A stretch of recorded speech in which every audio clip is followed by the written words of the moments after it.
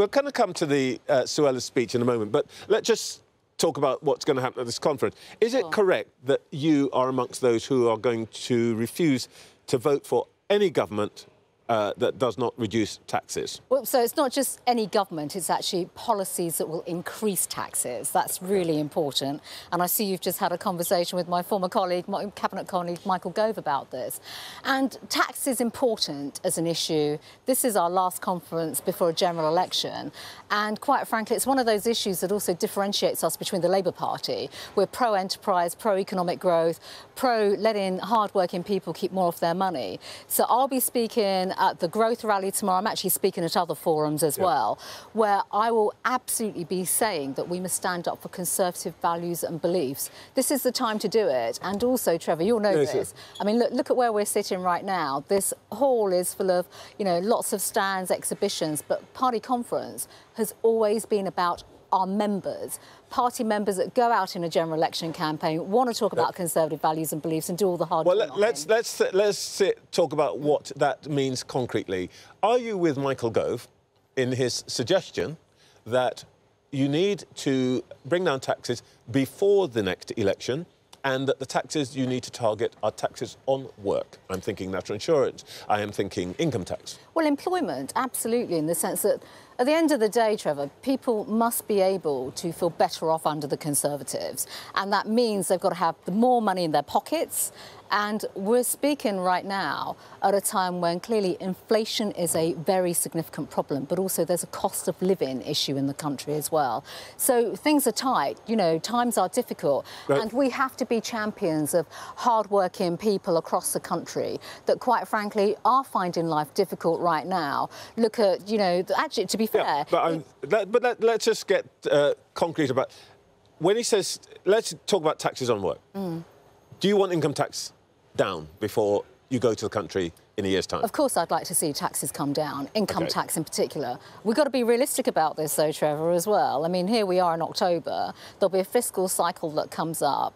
I think Michael, Michael Gove mentioned this as well. Obviously, this is all decisions for the Chancellor. The Chancellor himself Jeremy Hunt has already spoken and said that he would like to see taxes come down, but obviously that is for him.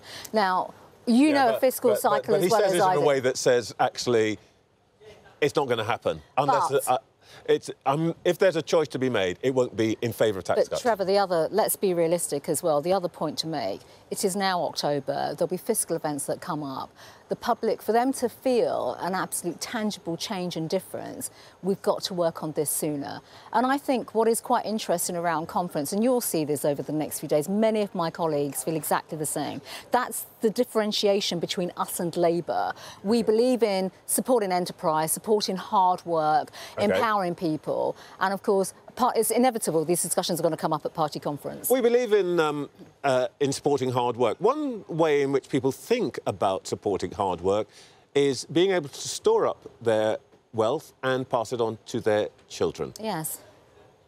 Where are you on inheritance tax? Well, I think it needs reforming. Quite frankly, I'd rather see it go and I've said that many, many times. So would you like the Chancellor in whichever, whichever fiscal event chooses the, the to say... Is yes, I would. Goodbye Absolutely, to inheritance tax? I would. It is a regressive and a punitive tax. And I see this, actually, as a Member of Parliament, and I'm sure you've met many individuals over a number of years. You see that they, you know, we believe in supporting people, buying assets, owning their home, a property owning democracy, all these core values. And then when they see the amount of tax they then have to pay on it or how difficult it is to leave behind their hard earned assets to their family, I think it's right that we stand up for them. So it's, that, that is not a walk in the park, though, Trevor, honestly. I mean, these are difficult areas of taxation, and I would like to see that work on reform start sooner well, rather than later. Well, this is very, this is very interesting because what you've already told me, let's let's cut some taxes on work, income tax. Let's get rid of inheritance tax. Um, there is a reason why uh, the tax burden has climbed to nearly 38 percent. If you get rid of these taxes, something is going to have to go. So, what are you going to cut in terms of public spending to pay for those tax cuts? And that's right choices will have to be made. let's not forget the size of the state has exponentially grown. I'm sure you looked at that IFS report that came out on Friday, which clearly stated we have a 70 year high tax burden. The size of the state, the amount of GDP that is going on the state, is actually outstripping our economic growth. But we're so talking, that when you say the size of the state, uh, let's not make this abstract. What we're talking about is pensions.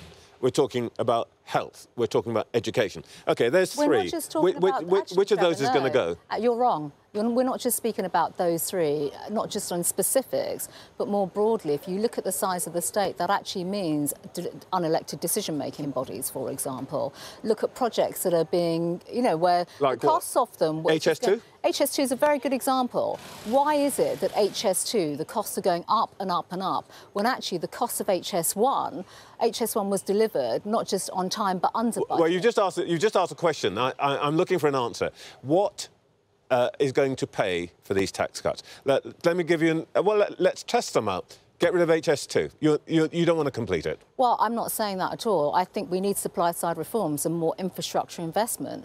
The reality is, Trev, look, when you look, I've worked uh, in you, Whitehall. You, you, you no, can't no, have no, it both ways. You, can't have both. you can, you, can constantly attack. Labour on this grounds. You can't have it both ways. You can't have tax cuts and then also yes, we can. the same, the same I'm level sorry, of spending. but we can. And it has been done in the past before. Even if you go back to the 1980s when there was high inflation and high unemployment, it was the policies of supply-side economic reform that brought inflation down, created jobs in our country and created economic growth that ranged from 3, 4 and 5% okay. over a decade. So it is possible. And that does mean, yes, hard choices. And actually, the one thing I would say, Trevor, to you is, all credit to Rishi Sunak, he's speaking about long-term decisions and making hard choices. These are the type of hard choices that have to be made in the long run to give us the type of economic security that the British people want to see. Um, let me put it as gently as I can. There will be intelligent people out there watching this interview, and what they will be saying is, I think I've heard this message before. And I think I've heard it from somebody called Liz Truss. You can have tax cuts, you can reduce the levels of income tax, but you can also have all that you want on public spending. You can have as much health uh, care as you want. You can have all the education, and actually it'll be fantastic. Actually, I'm not, I'm not, sure. I wasn't in Liz Truss's government, so I'm, I'm not going to well, boil it down. I, I was listening to it. That's very. And so was the well, rest of the country. That's very good. But I'm also saying that we have in the past. I've given you a very good example in the 1980s of high rates of inflation, high rates of unemployment, supply supply side reforms that actually brought around the economic change that we need. It, it, and the reality is, right now, Trevor. I mean, I'm sure you've read that report on Friday from the IFS. I have. The size of the state. By the way, it isn't just about health and education. I think the Conservative Party should be very proud of the fact that we have something now like 41,000 more nurses in the NHS. You know, we don't hear people speaking about that very often. The whole okay. issue around schools and education, the way in which standards have been increased, that is down to good long-term investment. But on top of that, right. there is a hell of a lot of waste that goes on in government. And I'm sure if you speak to every single minister, okay. and you'll have many on your programme in the weeks to come, they could give you examples. Okay. I'll give you one example now. Last year, I gave the police a pay increase, and I did that okay. from Home Office budget. So there are ways in which these, these outcomes can okay, we, we, we, can have a we could have a, a, a, seminar about the difference between 1980, early 1980s uh, and now. But I want to talk to you about something which I think you're better qualified than most to discuss. Suella Braverman said in Washington last week that multiculturalism had failed. In what way was that helpful to Rishi Sunak? Well, I think you'll have to ask her and ask Rishi Sunak, to be honest. I mean, she's given a speech and I think actually I, I did hear um, what your political um, reporter said earlier on, Sam Coates.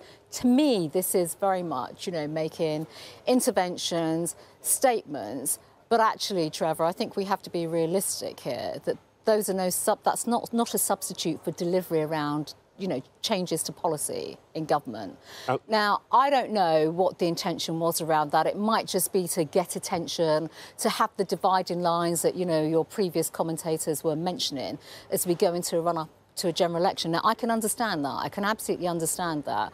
But you and I are sitting here today, okay, we are the products of actual integration, multiculturalism, dynamic communities, people that love our country, want to contribute to our country, along with a hell of a lot of other people that have done exactly the same. And I think that's something we should be proud of in our country. I'm, I'm not going to put words in your mouth, but I, what I'm hearing is um, before you sound off on the theoretical and cultural issues, wouldn't it be a good idea if you stopped some boats and brought down the numbers of immigration? Would that be a completely unfair interpretation? Well, you you are trying to put words into my mouth, Trevor, and that's all well and good. The government has made, I think actually even on, in this hall, we've seen a stop the boats message. The government has been clear. Rishi Sunak, his Home Secretary, have been clear that that is their priority. This side of a general election, if I may politely suggest, it is about delivery and the government will be judged on delivery. When you make pledges, statements and promises, you have to deliver. But of course, pledges are no substitute for action. And I think the public, they're sick about hearing about some of these issues and the failure to deliver. And I think it's right that everyone puts shoulder to the wheel and cracks on and does the work. Would a little silence from Suella be welcome? Um, look, Home Secretaries of the day rightly should be speaking about a range of issues in their portfolio. Um, but I, I, have to say, and I say this for everyone actually, and you know, I saw Michael Gove earlier on, on the programme as well. I've been in that job. Being Home Secretary is a very difficult job. It's multifaceted in many ways. You are juggling many difficult issues, ranging from the security of our country to support for our brilliant police. You know, I think, I think the public want delivery now. They really do. All right, look, I mean, I take what you said a moment ago. You know, as you say, here you are, a daughter of uh, Ugandan refugees. You went through comprehensive school. Uh, you're now a dame, and you've been Home Secretary. All of that, uh, you know, and I. Uh, you, you, rightly point out, I've got a sort of shadowy, small version of that in in my own Very life. successful, Trevor. But let me uh, put to you what I think might be in the current Home Secretary's mind. Um, I put it to Michael Gove earlier on that the Bradford Council produced mm. this hmm. report showing that the chances of interaction between uh, Asian people in Bradford and the majority population had actually declined over yes. the last decade. Um, now, isn't it reasonable for her to sound the alarm about something like that? I've got no issue with that at all, but put some perspective and context around it. I think that's very important. You know, if there'd been an example of Bradford, for example, and perhaps even Leicester last year, I remember what happened in Leicester. Where there was there, a conflict between right. Hindu uh, Hindu people in Bradford and, and Muslim people in Bradford. But what I would say, because I do, I, I, know I know the community reasonably well up there as well, and there are some other wider issues around employment, social issues. People, they want to work. People want to work and they want to contribute and integrate. So I think context matters a great deal. And I've, I've seen programs around the country, I've sat with councils around the country where it's pretty obvious that there are communities that have not integrated. We don't want that. That is not right. And I think it is important to give voice to that. But you cannot generalise, and I think context is important. And then just to add to that point as well, you know, I think we're here in Manchester. One of the most successful resettled communities in Manchester are actually, particularly in recent years, are the Hong Kongers, the BNOs yep. that have come over. You know, they're educated, highly articulate, they are contributing. I've visited some, you know, I've met many in my tenure as Home Secretary.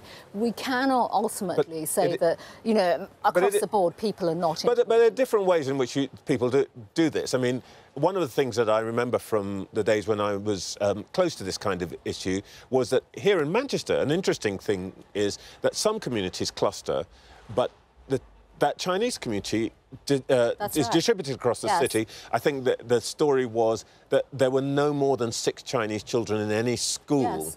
Uh, so they, there are different ways, and government can make it easier for people to do it, as it were, the Chinese way. I think and, now, yes, Trevor. You, you, you may appreciate the point that I'm about to make is that historically that has been much harder. 1960s, 1970s, for example, mm. when communities that were new to the United Kingdom did not have support structures around them. So naturally they came together um, okay. and lived in that way. Now it is very different. And the other point to okay. make is that a lot of local councils do a lot more in integration. I mean, I saw this with Syrian refugees, BNOs, the Ukraine scheme. You know, integration is paramount. So I think it's important to give voice to these issues. Of course it is. But again, always have the right kind of context around this. Um, just, just, just, just, very quickly, um, something that surprised me that uh, I, I heard that you had said, which is that you read, you said that an article which had called Britain lawless and you described that article as spot on. Do you really believe that? No, not in the sense of Britain being lawless. There are very legitimate issues, I, and I know the article you're referring to, Yeah. around knife crime. We saw that senseless murder of that young 15 year old girl last week. And that's just appalling and tragic and totally preventable. Okay. Now, there is something there around, and to be fair, I did a lot of work, Trevor, on knife crime, gang work, county lines, getting weapons off the streets, stop and search. Uh, these are important areas, and I think there is more that needs to be done there. Okay. Young people are losing their lives senselessly, and I'm sure that all parents and families, and you know, God bless that poor girl last week and her family, they are going through a terribly tragic and traumatic time, and that could have been preventable. You can give me a quick yes or no to this. Uh, you're on platform with Liz Truss tomorrow. Could she come back as leader of the party? No. Thank you.